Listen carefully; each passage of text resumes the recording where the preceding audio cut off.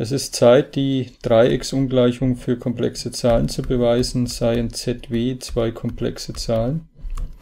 Dann gilt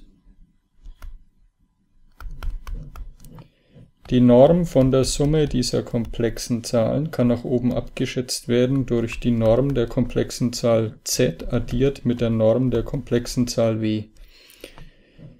Beweis Ich betrachte zunächst diese Summe als eine komplexe Zahl, deshalb die Klammer, und schaue mir davon die Norm zum Quadrat an. Dann kann ich aufgrund einer Eigenschaft der Norm, die ich bereits im externen Video bewiesen habe, schreiben, das ist z addiert mit w multipliziert mit z addiert mit w konjugiert.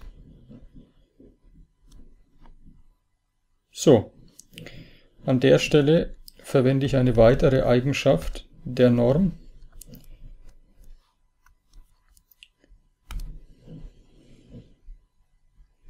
Nämlich z addiert mit w und für diesen Faktor kann ich ja schreiben unter Bezugnahme auf die Eigenschaft.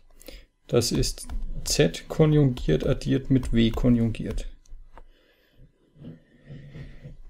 An der Stelle verwende ich das Distributivgesetz in C mehrmals und dann kann ich schreiben, das ist z mal z konjugiert addiert mit z mal w konjugiert addiert mit w mal z konjugiert addiert mit w mal w konjugiert.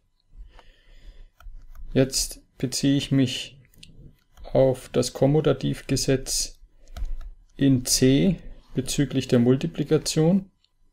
Ich schreibe dieses Produkt um.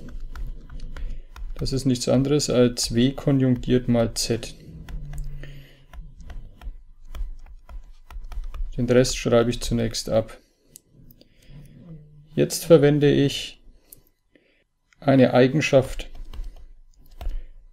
der Norm nämlich z mal z konjugiert ist die Norm von dieser komplexen Zahl zum Quadrat.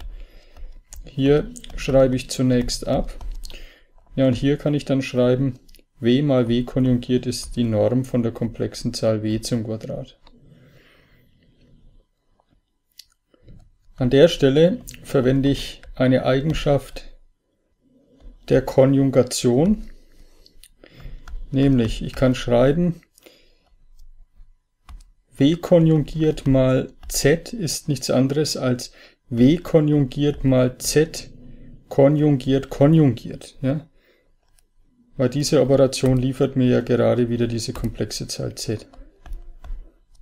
Addiert mit W mal Z konjugiert plus die Norm von W zum Quadrat.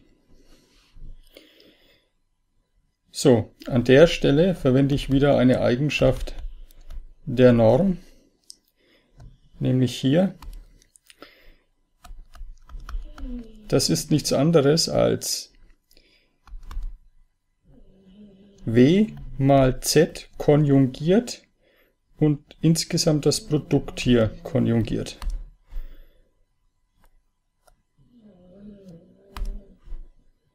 Ja, denn ich kann es mal hier kurz hinschreiben, W mal Z konjugiert konjugiert ist ja aufgrund dieser Normeigenschaft nichts anderes als w konjugiert mal diese komplexe Zahl konjugiert, aber die ist ja bereits komplex konjugiert, also steht hier w konjugiert mal z.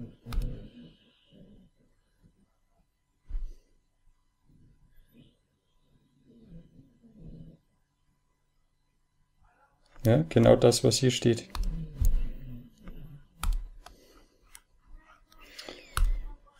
So, hier übernehme ich und jetzt bemerke ich, dass hier dieselbe komplexe Zahl steht wie hier.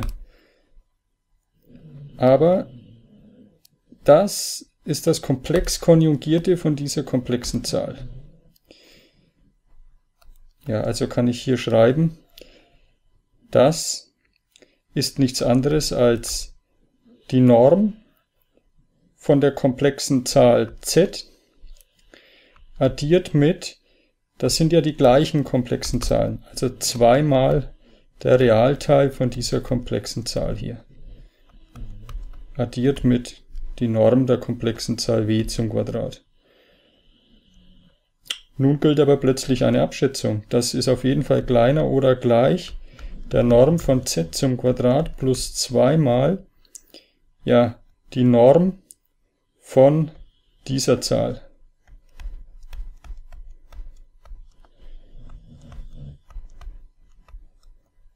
Ist klar, hier könnte 0 stehen, ja, dann muss ich natürlich die Gleichheit zulassen. Aber hier kann natürlich auch was Negatives stehen, also kleiner 0 sein, ja.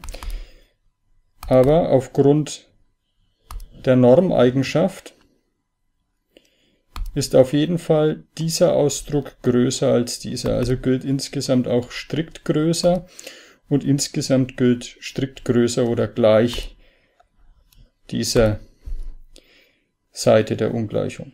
Gut. Jetzt kann ich aber weiter nach oben abschätzen. Nämlich, ich nehme jetzt den Imaginärteil von dieser komplexen Zahl dazu. Also das hier ist auf jeden Fall größer oder gleich. Naja, die Norm von dieser komplexen Zahl zum Quadrat plus 2 mal Wurzel über Realteil von dieser komplexen Zahl quadriert plus Imaginärteil von dieser komplexen Zahl quadriert. Ja, addiert mit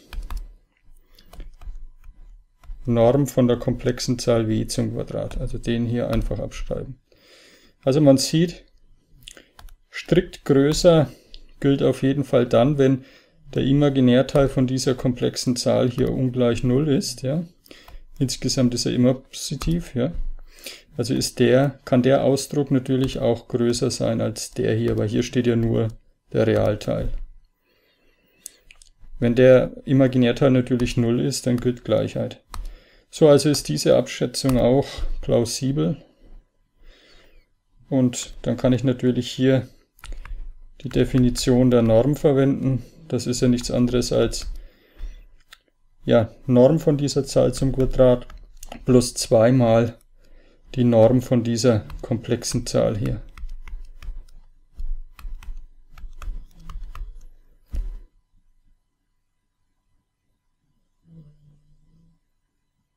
So, jetzt verwende ich eine Eigenschaft für die Norm. Nämlich, das ist nichts anderes als Norm von dieser komplexen Zahl quadriert plus 2 mal, naja, Norm von der komplexen Zahl w multipliziert mit der Norm von der komplexen Zahl z konjugiert und addiert letztlich mit der Norm von der komplexen Zahl w zum Quadrat. Ja, also hier geht die Normeigenschaft mit ein. Die Norm von dem Produkt zweier komplexer Zahlen ist ja das Produkt der Normen. Ja. So, Jetzt bin ich aber hier insgesamt in den reellen Zahlen. Ja? Das hier ist eine reelle Zahl aufgrund der Definition der Norm. Also kann ich hier auch mit dem Ausdruck so umgehen, als wenn ich in den reellen Zahlen wäre. Also ich kann hier den binomischen Lehrsatz anwenden. Das ist die Norm von dieser Zahl addiert mit der Norm von dieser Zahl zum Quadrat. Daraus folgt jetzt, weil diese ganzen Gleichheiten ja gelten nun diese Abschätzungen. Auf der linken Seite der Abschätzung steht immer noch dieser Ausdruck, also gilt hier zunächst die Norm von dieser komplexen Zahl hier zum Quadrat ist auf jeden Fall immer kleiner oder gleich dieser reellen Zahl hier zum Quadrat. Jetzt kann ich auch diese Klammern wieder weglassen.